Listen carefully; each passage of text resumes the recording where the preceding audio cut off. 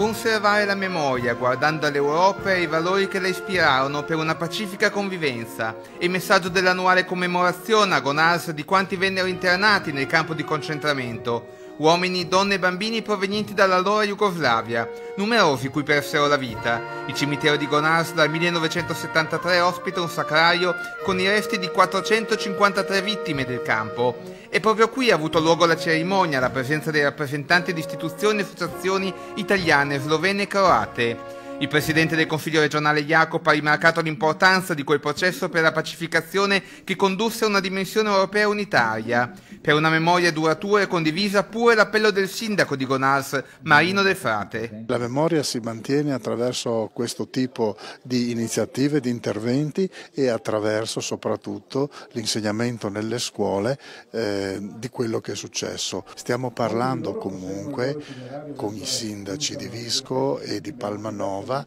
e quindi vorremmo che questa memoria fosse non solo per Gonars. Duro il monito dell'Ampi provinciale che ha condannato ogni tentativo di riabilitazione del fascismo, come il raduno nei mesi scorsi agoista della decima Mass, e Leonardo Lutti.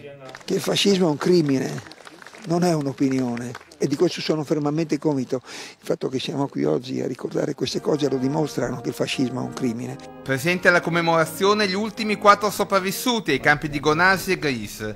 Il ricordo di quel periodo e dei familiari morti provoca ancora oggi un pianto ininterrotto.